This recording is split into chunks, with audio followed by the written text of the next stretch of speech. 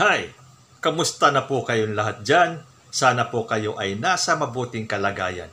Welcome po sa isa na namang edisyon ng Usapang Tito Manny. Ngayon po ang pag-uusapan natin ay tungkol dito kay Senator-elect Robin Padilla. At ah, marami daw ang nagtampo sa kanyang mga BBM supporters at mga Marcos loyalists dahil doon sa kanyang pinost na open letter kay Chris Aquino. Hinanap ko yung post, pinag-aralan at ah, kasi ayoko naman basta maglabas ng aking ah, saloobin nang hindi ko nakikita yung magkabilang panig. Kasi baka maging ah, bias lang ako. Nakita ko yung post na open letter ni Robin Padilla kay Chris Aquino ah, dated June 5 dito kasi sa open letter niya kay Chris Aquino, binanggit niya yung kanyang tatlong alas. Sina PRRD, si Bongo, at si Inday Sara Duterte.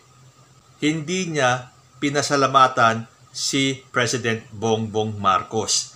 Sinasadya man o hindi, hindi natin alam ang nasa loobin ni Robin Padilla kung bakit hindi niya binanggit si Bongbong Marcos at hindi siya nagpasalamat dito.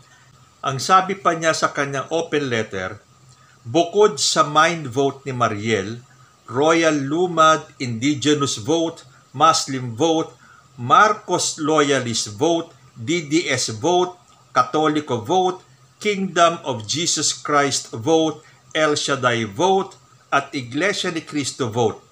Chris Aquino delivered the Aquino vote for me. Yun ang pahayag ni Binoy.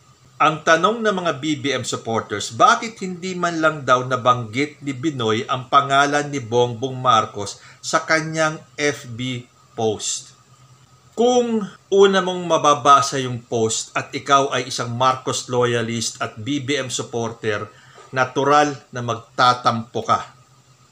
So napakadami na kagad ng mga comments na kesyo lumabas ang tunay na kulay ni Robin Padilla. May nagtatanong kung may galit ba siya kay Bongbong Marcos. Maraming nagsasabi na nasayang yung kanilang boto kay Robin Padilla. Marami din ang nagsasabi na kung nalaman nila agad na si Robin Padilla pala ay dilawan, ay hindi nila ito ibinoto. So ako, nung una ko rin siyang nabasa, medyo nagtampo din ako. Kasi may napanood akong interview ni Robin Padilla nung nagsasagawa pa lang ng quick count at siya ay consistently nasa number one sa pagkasenador. Doon sa interview niya, hindi siya nagpasalamat kay Bongbong Marcos o sa Uniteam. Ang kanyang dahilan daw ng pagkakapanalo ay dahil sa kanyang plataforma. So doon pa lang sabi ko, bakit kaya hindi man lang binanggit ni Robin Padilla si Bongbong Marcos? So pinag 1 plus 1 ko to ngayon. Itong nabasa ko at saka yung napanood ko noon. At kung hindi ako open-minded, medyo magtatampo talaga ako kay Robin Padilla. Dahil unang-una, parang talagang specified dito ang uh, ginawa ni Chris Aquino at uh, nakuha ni Robin Padilla ang Aquino vote. Although may mga lumalabas sa mga comment section na pinalalabas na dahil kay Chris Aquino kaya nanalo si Robin Padilla, hindi naman po ganun. Wala naman pong binanggit si Robin Padilla na dahil sa Aquino vote kaya siya nanalo. Okay? Huwag po tayong padalos-dalos ng paghuhusga Pinasalamatan niya lang si Chris Aquino dahil nakuha ang Aquino vote. Pero kung tutuusin talaga, kung meron man Aquino vote, bakit hindi na ipanalo ni Chris Aquino si Lenny Robredo? Eh kung si Lenny Robredo nga, hindi ba, humiwalay sa pagiging dilaw. Halos itakwil ang pagiging dilaw ng iba ng kulay. Para kunyari, hindi mapansin ng mga tao na siya ay dilawan. Nanalo ba? Hindi. Dahil kahit na nagpalit siya ng kulay from yellow to pink, alam naman ng madlang tao ang nananalaytay sa veins o nerves ni Lenny Robredo ay dugong dilaw. Na ipanalo ba ni Chris Aquino si Lenny Robredo at yung sinasabing Aquino vote? Obviously, hindi. Ipinaliwanag pa ni Robin Padilla na pinasalamatan naman niya ang mga Marcos loyalist vote. So, syempre, yung mga Marcos loyalist naman, sasabihin na napasalamatan mo ang mga botante ng mga Marcos loyalist. Bakit hindi mo man lang nabanggit ang pangalan at napasalamatan si President Bongbong Marcos? Ito po sa aking palagay. Opinion ko. Dahil po yung liham ay para kay Chris Aquino. Alam naman po natin na merong bad blood between the Aquinos and the Marcoses. At si Chris Aquino ngayon ay dumadaan sa isang health crisis. Pwede naman na kaya hindi binanggit ni Robin Padilla ang pangalan ni Bongbong Marcos sa kanyang open letter kay Chris e para hindi na ma-stress si Chris Aquino. Which is a possibility na pwedeng ayaw lang ma-stress ni Robin Padilla si Chris kung babanggitin pa niya at pasasalamatan si Bongbong Marcos dun sa kanyang liham kay Chris Aquino. On second thought, bakit ginawang open letter? Bakit hindi na lang pinadala kay Chris personally para malaman ni Chris Aquino na nagpapasalamat si Robin Padilla sa kanya? Kasi sa totoo lang, real talk, hindi magiging number one na senator si Robin Padilla, kundi dahil sa mga BBM supporters and Marcos loyalists. Pwede pa nga hindi siya nanalo sa Magic 12 eh. Pero para sa akin, pwede siyang pumasok sa Magic 12. Pero hindi siya magna number one kung hindi siya na-associate sa Uniteam. Nakita naman natin sa survey, hindi naman number one si Robin Padilla. Pero nang siya ay naging official na napasama sa senatorial slate ng Uniteam, lalo pang lumakas ang pangalan ni Robin Padilla. Kaya siya nag-number one. Hindi po yan dahil sa Aquino vote. Although in fairness, kung babasahin nyo naman yung liham, wala naman pong sinabi si Robin Padilla na dahil sa Aquino vote kaya siya nag-number one. So sa tingin ko, kung meron man mga tao dyan na gustong pag-awayin itong Uniteam, si Robin sa si Bongbong, hindi ka magtatagumpay. Well, naturally, magtatampo ang mga BBM supporters at ang mga Marcos loyalists dahil sa liham na ito. Sanang nangalang daw hindi na ginawang open letter. Hindi ba alam ni Robin na mababasa ito ng lahat kasama ng mga BBM supporters? So naturally, magtatampo sila. On the other hand, ito po kasi ay para kay Chris Aquino. So pwede rin naman talagang iniwas niyang hindi banggitin ang pangalan ni Bongbong for the sake of Chris Aquino. So ngayon, nung nalaman ni Robin Padilla na ang daming tumutuligsa sa kanya dahil dun sa kanyang open letter kay Chris Aquino, nung June 7 naman, nag-post ng lumang litrato si Robin na kasama si Bongbong Marcos. At meron siyang paliwanag doon. Babasahin ko po yung mga excerpts ng kanyang sulat. Ito po ay larawan namin 1990s. May klaruhin lang po ako. Paano ko po sasabihin na isa sa alas ko na mag-endorso sa akin si incoming President Bongbong Marcos eh malinaw naman po sa lahat ng ganap ng kampanya na hindi po ako na-endorso ng aking personal na kaibigan. Kung maaalala nga ninyo, binanggit ni Robin yung kanyang tatlong alas. Si President Duterte, si Bongo, at si Inday Sara. Sagot naman ng mga ilang BBM supporters, hindi naman nila inaalis kay Robin Padilla kung para sa kanya ay tatlo yung alas niya. Hindi naman nila sinasabi na gawin niyang pang-apat na alas si Bongbong Marcos. Ang sinasabi lang nila ay bakit hindi nabanggit or napasalamatan si Bongbong Marcos. At ito nga sinabi ni Robin Padilla na malinaw naman po sa lahat ng ganap ng kampanya na hindi po ako na-endorso ng aking personal na kaibigan. So totoo nga ba na hindi siya na-endorse ni Bongbong Marcos? Panoorin po natin tong clip na ito. Nakita ko kanina, naghihiyaw din kayo. kinantahan kayo ang ating kandidato na magre-represent sa ating mga kapatid na Muslim, Robin Padilla, na magre-represent sa ating mga kapatid na Muslim, Robin Padilla. So dito po sa clip na ito, makikita natin na inindorso ni Bongbong Marcos si Robin Padilla. Although baka ang hinihintay na endorso ni Robin Padilla ay ang itaas ni Bongbong Marcos ang kanyang kamay. Pero para sa akin, the mere fact na ikaw ay isinama sa senatorial slate ng Uniteam, hindi ba pag endorso na yon? Hindi ba ikinabit ni Bongbong Marcos yung pangalan niya sa iyo? Dahil nga sa ikaw ay isinama sa senatorial slate ng Uniteam. At itong video na to na nagpapatunay na ikaw ini-endorse ni Bongbong Marcos. Tuloy po natin yung post ni Robin Padilla. Malinaw naman po na pinayagan niya ako na makasama sa Uniteam dahil personal niya akong kaibigan. At ang sulat ko po ay para kay Miss Chris Aquino. So nakita niyo na, tama siguro yung aking analysis na dahil yung sulat na yun ay para kay Chris Aquino at iniiwas niyang ma-stress si Chris dahil sa kalagayan nito. At inacknowledge din naman ni Robin Padilla na siya ay pinayagan na makasama sa Uniteam dahil personal niya akong kaibigan.